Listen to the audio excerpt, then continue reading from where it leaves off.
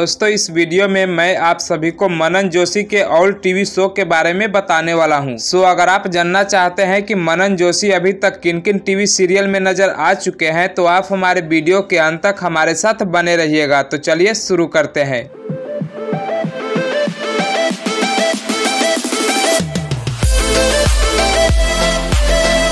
दोस्तों, मनन जोशी ने अपने करियर का शुरुआत स्टार भारत के शो काल भैरव रहस्य से अपने करियर का शुरुआत किया, जिसमें यह शमशेर के किरदार में नज़र आए। फिर उसके बाद यह टेलीविज़न शो गुड्डन तुमसे न हो पाएगा में काम किया, जिसमें यह रौकी चौकी के किरदार में नज़र आए। फिर उसके बाद यह सोनी सब के शो शुभ लाभ आपके घर में काम किया, जिसमें यह रीड रोल में नज़र आए और इन्हें उस शो से काफ़ी ज़्यादा पहचान भी मिला। फिर उसके बाद यह टेलीविज़न शो कभी कभी इत्तेफाक से में काम किया और इन्हें उस शो से भी काफ़ी ज़्यादा पहचान मिला। और ये अभी दंगल टीवी पर आने वाले शो मन अति सुंदर में नज़र आ रहे हैं। तो दोस्तों, अब आप सभी को क्या कहना है और आप सबको मनन जोशी के ऑल टीवी शो के बारे में जानकर कैसा लगा? आप सब अपना राय हमें कमेंट बॉक्स में कमेंट करके ज़रूर दीजिएगा। और दोस्तों, अगर आप मनन जोशी के फैंस है तो वीडियो को एक लाइक और चैनल को सब्सक्राइब ज़रूर कर दीजिएगा। तो मिलते हैं किसी नए वीडियो में, तब तक के लिए नमस्कार।